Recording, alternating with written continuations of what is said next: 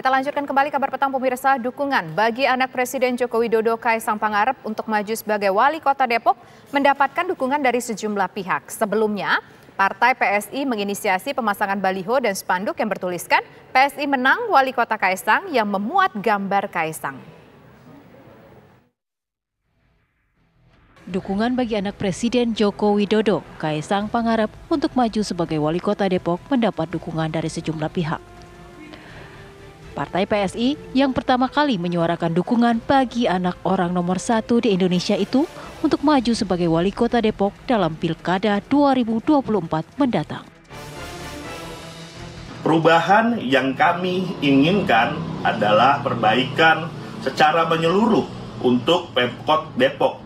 Kita tahu banyak catatan, mungkin setiap eh, tahun bisa 5 sampai 6 hal viral di Kota Depok terkait pemerintahannya ini sangat ironis ya dengan kota sebagai penduduk dengan dengan jumlah penduduk eh, tiga 3 jutaan orang tapi di manage dengan orang-orang yang setengah hati untuk membangun kota Depok. Tak hanya itu, dukungan untuk Kaisang juga datang dari sang kakak Gibran Raka Buming Raka yang merupakan wali kota Solo. Ia mendukung jika memang sang adik mau maju dalam kontestasi Pilkada 2024 menjadi pemimpin di Depok.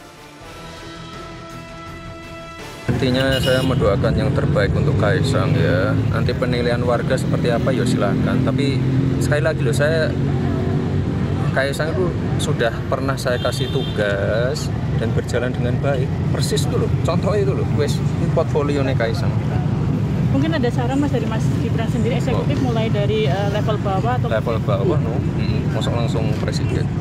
Wali kota. DPRD DPRD enggak. Eksekutif. Depok satu. Depok satu. Mantap. Untuk, untuk Margonda lebih baik.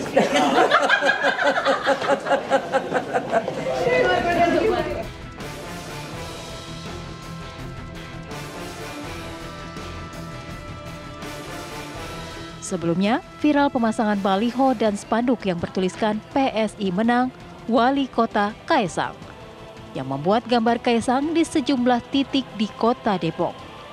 Pemasangan baliho dan spanduk itu diinisiasi Dewan Pimpinan Daerah DPD PSI dan atas sepengetahuan Kaisang. Tim TV One mengabarkan.